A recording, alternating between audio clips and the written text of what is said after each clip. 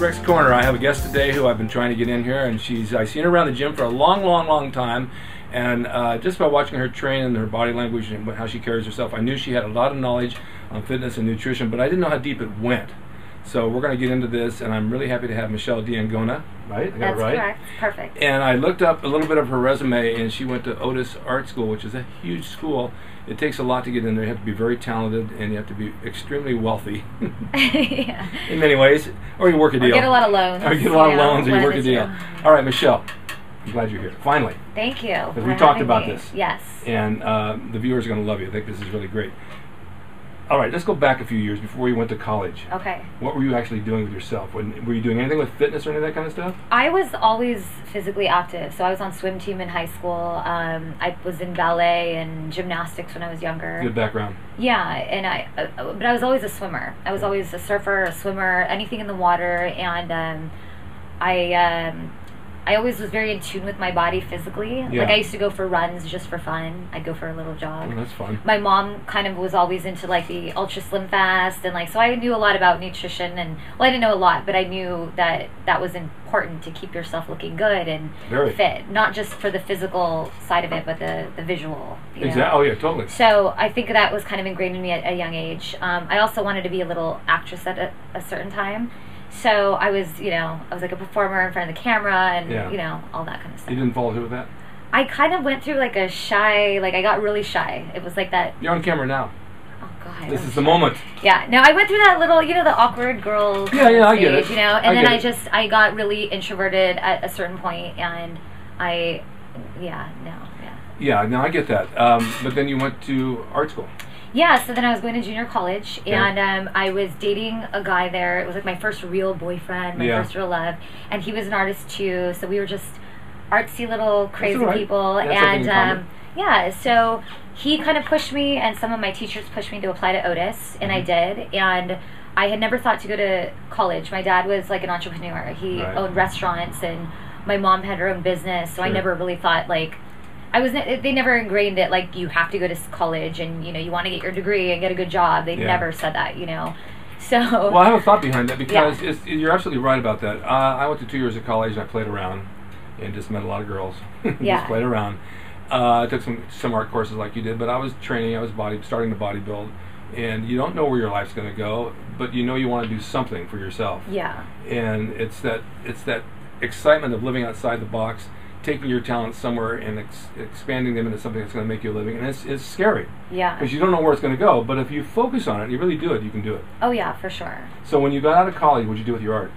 Um, well, I, I went to junior college so that I could take art classes and I could be in a more organized, you know, situation. I've never done that before. So I was introduced to sculpture, like with um, found objects and things like that. I got Yeah. into welding. I got into uh, fiberglass and resin molds and, you know, printmaking, all kinds of stuff. So then when I got accepted into Otis, I knew I wanted to stay like fine arts, Right. you know. Um, but I didn't. I still didn't see it as a career. I just thought it was really cool that I was going to Yeah. Otis, and my boyfriend at the time like didn't get in. Yeah. So he was. So I kind of I liked that I did, And and, it wasn't even my. It just kind of fell in my lap, kind of thing. So Well, that's how life happens. yeah, Things yeah. it- you manifest it, but it does fall in your lap. Yeah. All right. Then from that point, what got what got you into fitness? Um, let's see. I okay. So I was going to Otis, and I ended up dropping out. Okay, so I was partying. What happened was I moved to Venice. Yeah. my first apartment. Oh, yeah. I'm living in Venice Beach in Santa Monica, and at the time I was just I was just a wild little party girl. I was engaged to the guy, Yeah. and then I kind of I just I just knew that I was so young. It was like you know 19, 20, 21, and it just I wanted to like explore the world. I still am 19, and I yeah, still explore. all men are. Yeah, exactly. Um, so I decided, uh, I, I ended up dropping out. And I was like, I got into like the party scene. I was like really into Hollywood and all that kind of stuff. At the same time, though, I needed to make money to feed my partying habits. of course. And um, I got introduced to marketing and sales, kind of like, um, it was actually a network marketing company. And um, not a total pyramid, but that's kind of the, it was Yeah, multi yeah. level marketing There's a lot of those. but. But I realized I kind of grew out of that shy phase, and I realized that I had a really good niche for selling, and for you know I could talk to big groups of people, and so it took me it took me out of my shy zone and put me into a, a totally different realm, and I started making a lot of money really young. So that was my motivation, I guess, and that's kind of what it kind of took me away from my art though at the time. Yeah. From there, I ended up I became a teacher. I was actually teaching second through eighth grade uh, Really? PE. I didn't know that. Yeah, we didn't talk about that. So there's where the athletics come in. that's where the athlete and it's always been there you know i was always i i always had the body because i always went to the gym i didn't really know necessarily what i was doing but i i would research it myself and i talked to enough people and i Sure. i mean i knew more than every other woman in there you Right. know um so i got into the gym and and then when i started uh, teaching pe i was teaching at a private school in van nuys and um, all the parents were like wanting to hire me as their personal trainer Sure, sure. so I was doing that on the side, and this is before I was even like any kind of certification or anything. Well, you know, back in the day, I mean, I remember I was training some people. There was no certification. No. You didn't have to have it. If you had knowledge, knowledge was what you all, always had to have. Oh, yeah. And then you had to be certified. Then you had to pay gym membership, or not membership, dues to pay somebody, which I think is really wrong. Yes. I think that when you train somebody and you bring somebody into the gym to train them, they buy a membership, they buy a product. They should re- reward you and say, "Oh, thank you for bringing the customer. Here's a free month." Yeah. Why would they charge you for bringing them business? Yeah. No. You know, it's the guy a sells a money. cr- it's a money ring. You know. It is a money like, ring. Yeah. It's, it's so wrong. So when you started training people, you started to increase your knowledge as well on how to make these things work. Yes. Trial and error. Yeah, and I think working, I've always worked with kids. Like I always had summer jobs. Actually, okay, this is a good one. I I during this every summer. I did this since I was 18 years old till like 24. I worked at a summer camp called Cali Camp in uh, Mhm. Agoura Hills, Mhm. and I got my commercial driver's license. So I drove a bus. I picked up the kids Mhm. every day, 40 passenger bus, and um, I picked up the kids, and I loved working with children. Did you see over the wheel? I actually had a little You booster, a phone book. just a little one. I'm five feet and a quarter inch. I stopped Yeah. growing in eighth grade, so you know Yeah. I've been used to my height for a while. Oh, that's all right. Things But- are looking up. Yeah, things are looking way, way up. Yeah. Um, yeah, so I worked with kids, and I think working with children was a challenge. Yeah. Working with adults was another um, Whole different thing. another entity in it. itself. So you work with a lot of adults now. Now I well I work with people that look like adults that are kids at heart. Well, you got to be a kid at heart. You got to Yeah. stay young. There's no question. No, but it. I mean, you know, I think adults are actually more challenging than children. I think that they really are because at least children they have an excuse. Like they they they're they're fresh and they're learning and they're growing. Adults should know better. They should and, know better. You know, they, it should be a little bit. You know, they should be with it a Well, the bit. thing with kids, even with my wrestling classes, I mean, they, they train out there. Then they ask me about diet because they have no clue how to eat, yeah, and the parents don't know how how to uh, teach them to eat. And I had this talk last night because kids just don't know nutrition. Nutrition's key to everything. Yeah. And as you know, and you train hard. I see you in the gym training hard. You train really hard. You're in really good shape. I know that 80% of your diet's really good oh yeah, for sure. all the time. Eighty percent is good, so I can get away with. Honestly, I can get away with eating something bad once a day if I wanted to. Yes, you can, but but for the most part, you don't. I don't. There's, No, I don't. There's an old timer named Zabo Koszewski, was but the Joe Gold. He was very well known for his abs. He did a lot of movie work, a well-known bodybuilder back. He was back in the 50s and 60s, and he became a friend of mine. I said, "Look, Zabo, I'm training for shows, and I, I really watch what I eat every day. And when I eat something, I feel like I'm really fat the next day." He says, "You're not fat the next day. It's in your head. It's all mental. yeah. It is mental." He says, "You don't have to diet every day. Every two or three days, go ahead and eat." And then the next day, you go back on your diet for a couple of days, and then you eat. And he says, Yeah. "That way, you can get by mentally with having some stuff." Yeah, it's kind of like finding the balance. Yeah, you yeah, know. yeah. I think in the beginning I was definitely obsessive to get to that point. I Right. had to. You kind of have to be at a certain point. You do. I think to be successful, and we've talked about this before, but to be successful in any part of life, you have to have a little bit of that obsession, Yes. drive. Like I mean, all or nothing type of focus. All right, another question. Yes. because I've had this on the show before. There's outside influences. You're in a relationship, or j- this is a hypothetical Yeah. situation, with somebody who doesn't train, or your family doesn't really get behind your training, and then you go to a party. You go, oh, eat this and eat that and try this. It's not going to hurt you. And you say, no, no, I've got something coming up. I can't. And it, it, it put- it puts a distance between you and the other people because they know you're doing something, and they seem like they want to sabotage you and pull you Oh, out of yeah, yeah. What do you do in that situation? Well, I think in general, it's hard for people to make a change. So there's like haters, and when they see Yeah. other people doing what they kind of wish they could do, Yeah. they they they wish it for themselves. So they want to kind of stop you from achieving your thing. So you know, in the beginning, I felt like I needed to explain everything. Well, you don't understand, like, because they would be like, "Gosh, you never eat. You're not even going to eat that, or you're not going to do this, or." And I'm like, "No, I actually eat a lot. I eat 180 grams of protein a day, and da da da da." And you know, I always felt like I needed to, um, you know, justify what I was doing Mhm. and explain. And then I got to the point where, you know, it's funny because we'll people will criticize somebody who de- chooses not to drink alcohol. I know. I know. But then the guy sitting in the corner who's wasted every single day Right. is like, you know, nobody says anything to him. Like, No, you know, it's acceptable. yeah, yeah. So I mean, you just have to get over it. And I lost a lot of.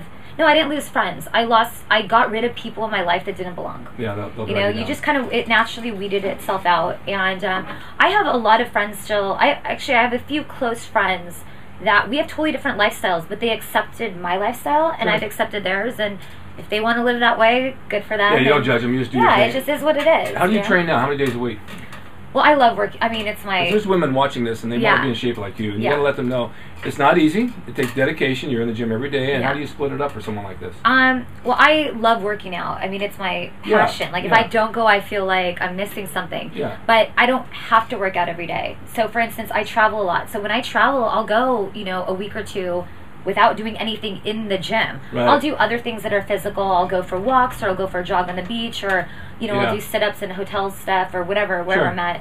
Um, but again, to get there, you kind of have to pay your dues, and you have to put in the time and put in the consistency within your workouts to Yeah. get your body there. Okay. Um, but maintenance, probably like four days a week. Yeah, four days a week is good. How do you split your body parts up?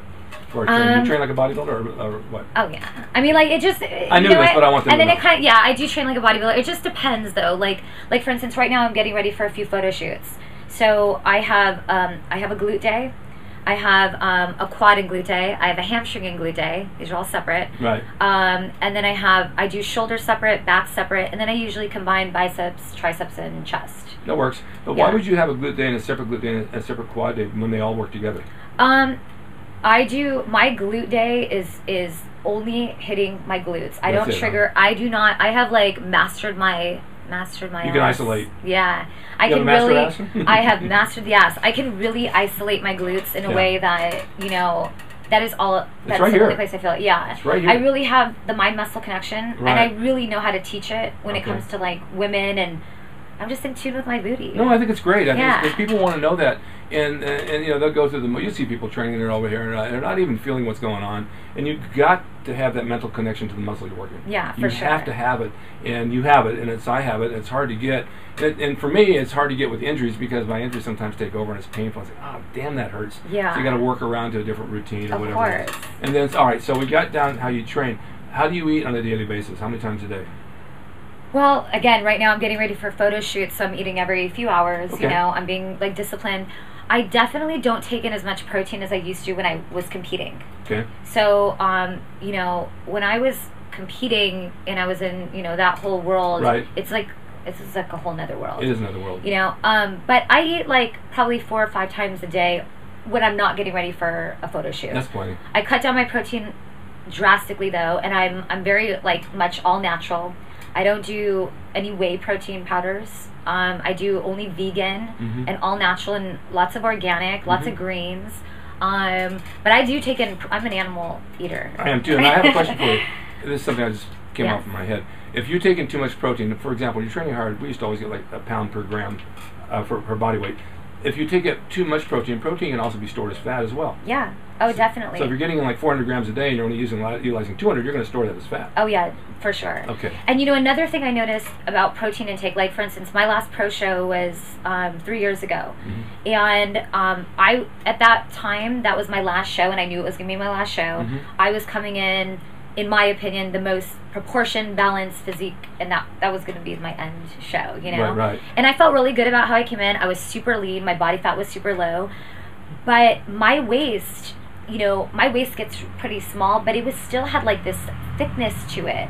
And um, it wasn't until I really cut down my protein and leaned out kind of the same way that I realized it that that protein kind of sits in you and it's Sure. slower digesting. Sure. I mean, I felt like it was keeping me fuller than I actually was and needed to be. Right. So I had already built the muscle. It's not like you know I was in that building stage. So right. You just want to you chisel know. it down. Yeah, chisel it down. And then like now, like my waist is smaller now, and I'm not even nearly as close of low body fat as I was when I would step on stage. You remember the You know. saying, I, I, you got skinny and fat at the same time? Some Yeah, people say that. exactly. it happens. You get skinny and fat at the same Yeah. time. All right, so what's your future plans? And then when, where can we find you on the websites? Um, future plans as far as As far as what your career, what do you, what do you, uh, you're training people? Um, okay, so I train people. I do body transformations That's what I wanna and talk about, lifestyle transformations, and Um, we talked about this, but it's like it's all mental.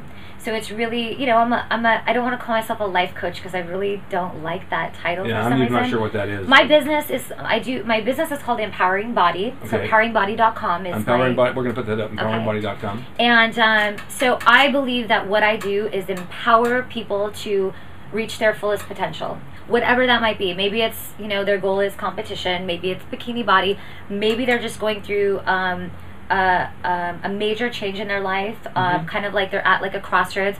They just went through a divorce. They just had a baby. They are changing careers. They want to do something for themselves. And, you know, when you take control of the body, it empowers every aspect of your life. It gives them control themselves. Yeah, it does. Because that is the one thing that we will have forever is this casing that we walk around with and that's the one thing that you can really you can enhance, you can you can destroy it, you can, you know, there's so many I, you're, you're so right. I've said this to people. I have friends I grew up with who don't work out, and they make fun of me still at my age. Oh, you're still eating chicken. Yes, I do. This body has to last me from birth until the time I'm not here anymore. This is what we carry around with us. It's like driving a nice car. Your body has to look good. It has to take care of you. It's your instrument. It's the largest organ of the body. Is your skin. You got to take care of that. And if you don't take care of it, that's the end of it. Yeah, it's your that's why they say your body is like a temple. It is. You know, and it's we're here the time that we're here on earth, this is it. Okay. This is it. So we got to make the best of it. I want to thank you for being here. Yes, thank you for And having uh, me. they can reach you through the website. Yes. Is there any other place? Are you on Twitter, Um, Facebook? empoweringbody.com is the um, my website, and then my YouTube is youtube.com uh, forward slash Michele, uh, Miss Michele, M I S S M I C H put that up for E L E Y. Yeah, one out. And you have a Facebook. I have a Facebook. If you look up Michele D'Angona, It's all there. I'm everywhere. Yeah. Well, thank you for being here. Thank you for having Thank you guys me. for watching. She's an awesome woman. I'm glad I met her. I'm glad we had her on the show. We'll do a part two and part three with some other subjects coming up. And thank you guys for watching Ric's Corner. Stay tuned for more. I'm bringing Steve Austin back soon.